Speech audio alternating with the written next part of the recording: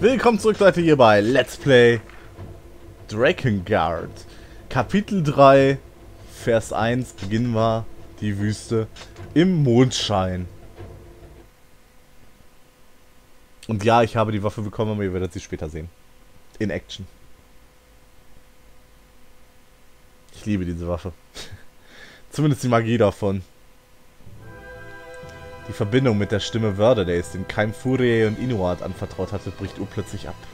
Besorgt um deren Sicherheit fliegt Keim in die Wüste, wo Furiai und die anderen ihn erwarten sollten. Oder sollen, aber... Wie wär's mit sollten, denn die anderen sind weg.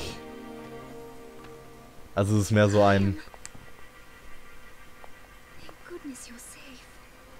Ihr solltet doch warten.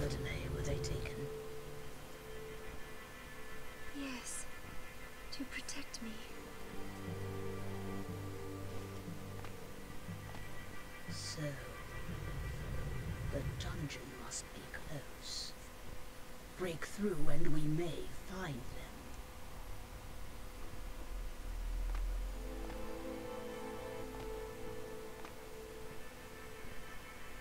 I will be safe. I am a goddess after all. Please, Kain, you must save Inuart and Verdele. Okay. Nebenbei bemerkt, du hast keine Kräfte. Sie bewahrt nur das Siegel auf, was ihr unendliche Schmerzen bereitet. Aber sie hat keine Kräfte.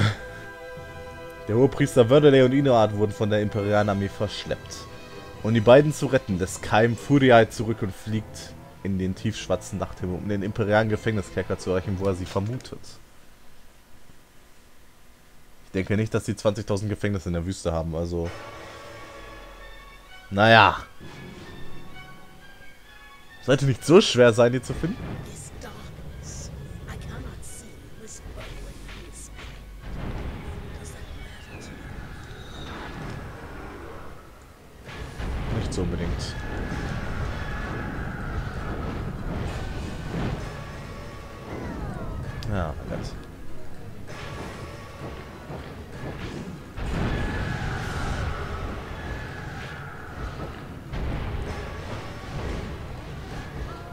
Ah Gott, dieser Greif, ne? Oh mein Gott, ist okay.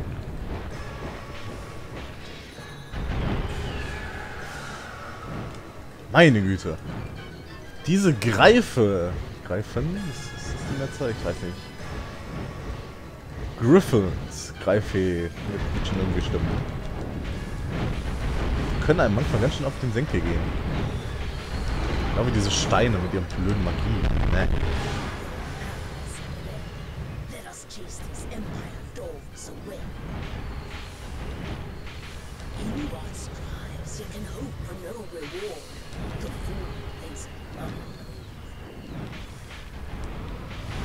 Da gebe ich ihr recht. Die Göttin darf keinen Mann mehr haben oder kann keinen Mann mehr haben. So sehr sie auch liebt, das ist eine extremst verlorene Liebe. Das wird nicht funktionieren. Niemals.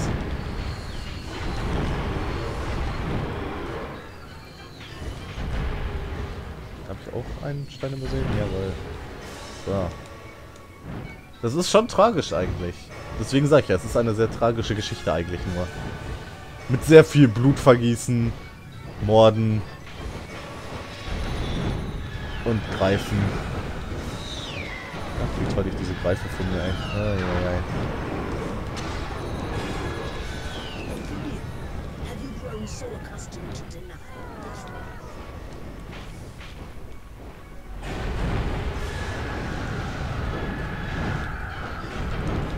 Bitte einfach sterben gehen?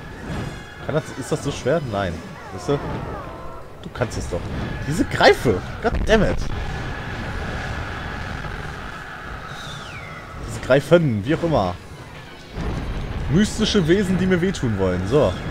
Jetzt habe ich es aber. Ich glaube, ich habe ihn in der Luft noch getroffen und zerfetzt dann. Yeah.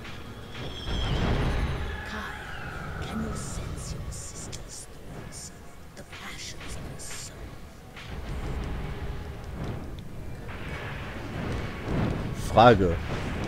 Selbst wenn er es kann, interessiert es ihn? Das ist wohl eigentlich die interessantere Frage dabei. Ja, eigentlich zwei Schuss und tot, aber nein, diese dämlichen Greife, die sind ja so... Äh, so hartnäckig. Und ab und zu ziemlich schnell. Nicht immer, aber ab und zu. Wenn sie es gerade mal wollen, ne? Wenn nicht, dann nicht. So, das wäre der.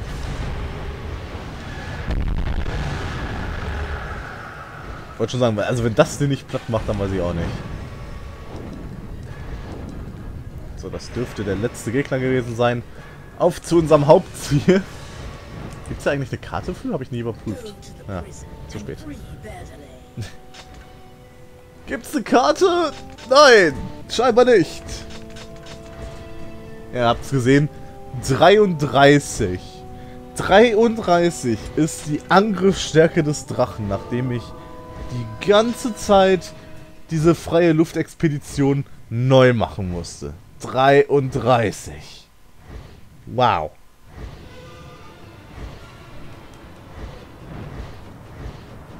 I see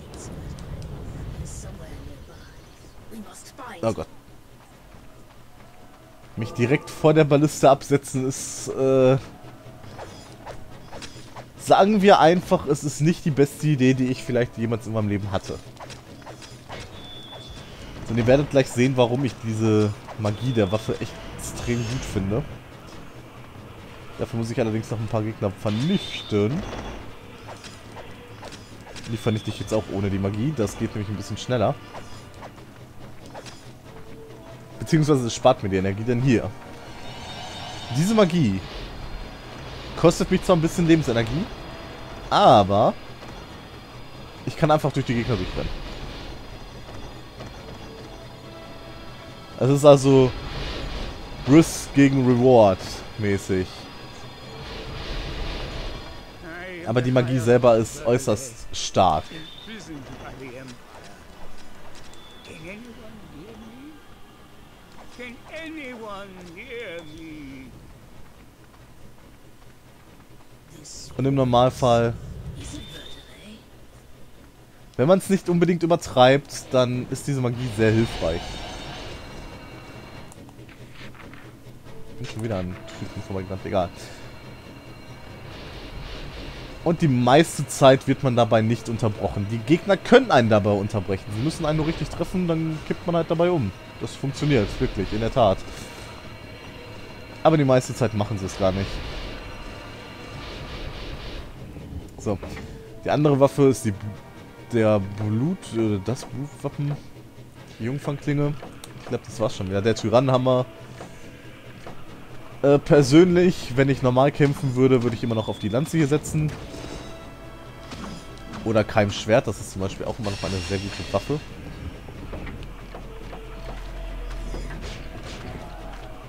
Besonders die Magie hat es noch in sich.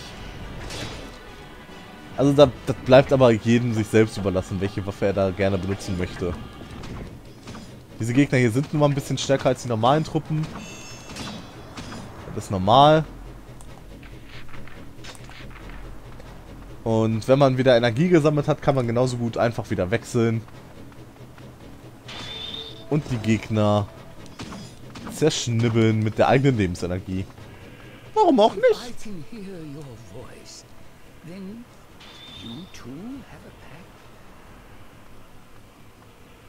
Time, you must be careful.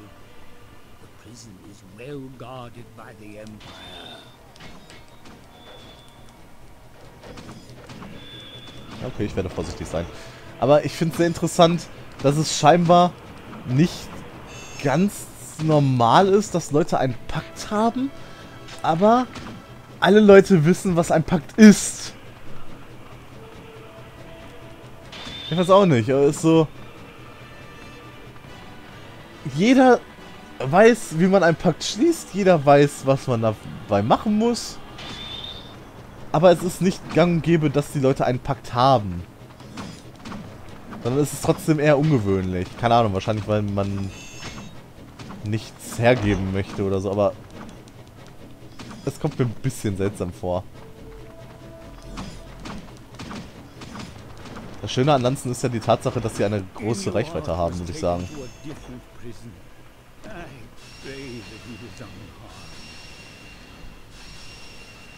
Jetzt kann ich erstmal mit Magie hier rumspammen. Theoretisch könnte ich jetzt auch wieder... Da muss ich aber erstmal die Magie aufladen, leider wieder. Sobald ihr einmal wechselt, ist eben die Magieleiste leer. Was ein bisschen negativ ist. Au. Ich möchte diese Bogenschützen da umbringen, weil die mir auf den Sack gehen werden. Aber ihr werdet mich das nicht machen lassen, nicht wahr? Ja, ist okay.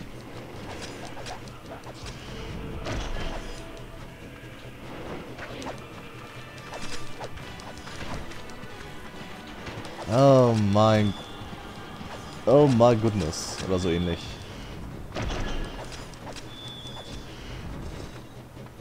Du da, komm her. Lass dich zerschnibbeln und gut ist. Jetzt haben wir eh gewonnen. Hahaha.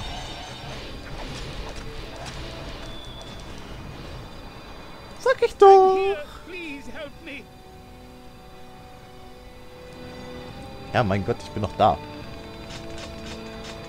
Willst du denn noch, Mann? Keim hat auch. 228 LP.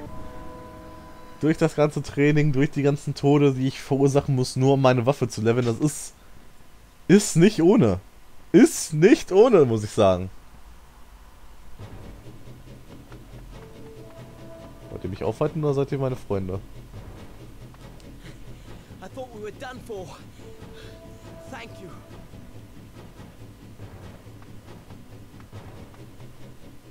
Ich wollte schon sagen, wollt ihr mich aufhalten? Seid ihr böse? Augenscheinlich nein. At last. So, you are Kaim. Oder bist du blind? Nee, ich glaube, du hast deine Haare eingebüßt, ne?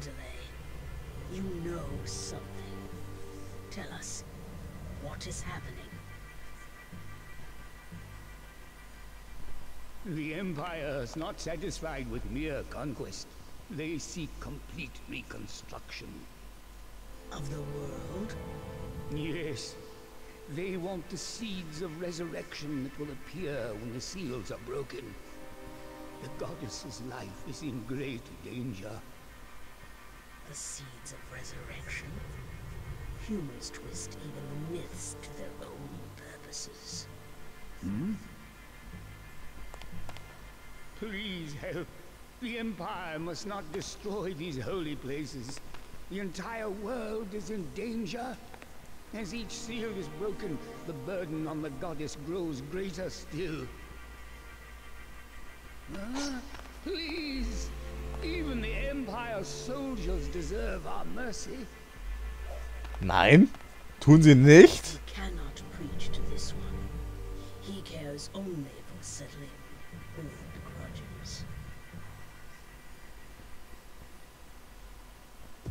May the gods bless us, their poor children. Oh Gott. What difference between he who prays and he who kills? Fools, one and all, these humans. Ja, ja, da gebe ich recht. Hm, doch so ziemlich. Das Imperium plant die Zerstörung der Siege und den Mord an der Kö Göttin, jetzt soll ich Königin sagen, um die Kokons der Reinkarnation darauf zu beschwören. Keim bricht zum Wüstentempel auf, um das Siegel vor einem imperialen Angriff zu schützen. Inuart wurde indessen in ein anderes imperiales Gefängnis gebracht, wo eine dunkle Stimme des Kultes der Wächter unentwegt auf ihn einredet.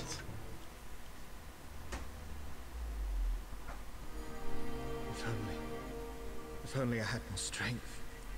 If only I had more strength, then I could protect Furiai. Who's there? I could protect her and make her my own. Stop it! Take her in my arms, surrender her to no man, my betrothed. She shall love only me. Please stop! All mine, Furiai, all mine, all mine, all mine. No man can have her, no man, not even Kaim. No! No more! Loves only me, looks only to me, holds only me. Furiai loves only me, me, me. Forgive me, deeply, deeply, Please forgive me. Gaze only on me. Please, gaze upon me. The goddess will die. The one who serves as the seal must be killed by the strain. The burden will destroy her. No. She is just a normal woman. One who was to lie beside you, laughing and carefree. If she ceases to be a goddess, can she become a woman again? For many, many years, What should I do? I want to help her. you need strength. Strength that comes from a pact with a dragon. Kayam. Kayam could help. Kaim. Allow him to bathe in her gratitude and love. She. She is my bride. She is my bride. Her kisses are mine alone. Her love is mine alone. If only I had the strength.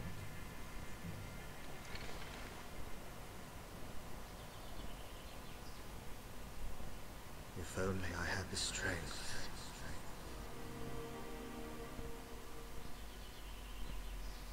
Emotionale Folter, würde ich mal sagen. Funktioniert. Auf Wördeles Bitten hin fliegen Keim und der Drache zum Wüstentempel, der eines der vier Siegel birgt. Doch in der glühenden Hitze des Wüstenhimmels erwartet sie bereits eine Einheit von Gargülen. Grässliche Kreaturen geboren aus leblosem Stein. In der Tat, grässlich. Ich mag sie auch nicht.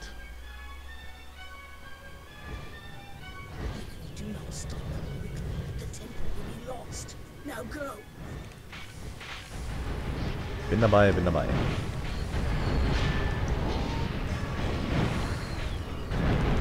Na, wenigstens ist dieser Gargüle weg. ah, das ist gut. Nicht zu sagen ausgezeichnet.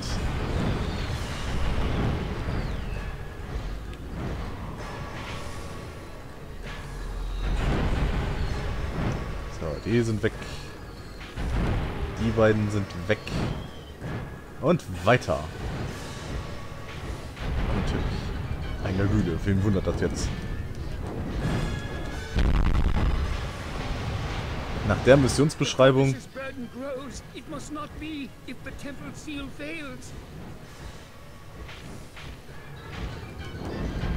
noch mehr von diesen Gargülen, meine Güte.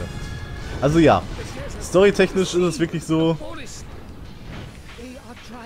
destroy a seal that protects the world. ja.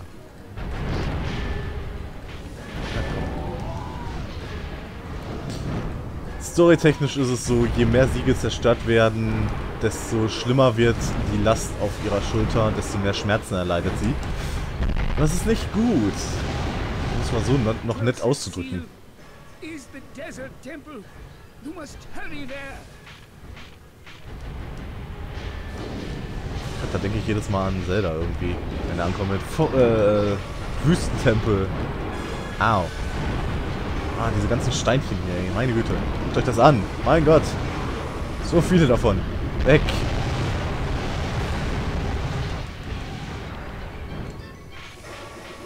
Selbst das reicht nicht. Oh mein Gott.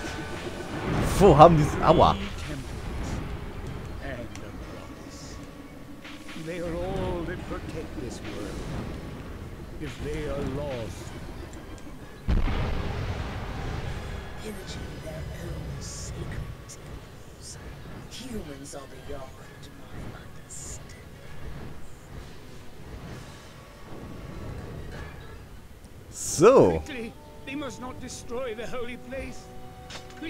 Hurry. Ich weiß. Ich bin auf dem Weg. Ich kann mich auch nicht vierteilen. Ich habe nur einen Drachen. Nebenbei bemerkt, ist es echt schön, wie sie jetzt im Großen und Ganzen Inuit komplett ignorieren. Äh, Wird schon. Keine Ahnung, wo der ist, aber wird schon. Ich weiß nicht, wieso sich das einfach so zurechtdenken, aber gut. Wir sehen uns beim nächsten Mal wieder, Leute. Wenn es um die Verteidigung des Wüstentempels geht. Ich bin mir nicht ganz sicher. Wir werden sehen. Auf Wiedersehen und tschüss.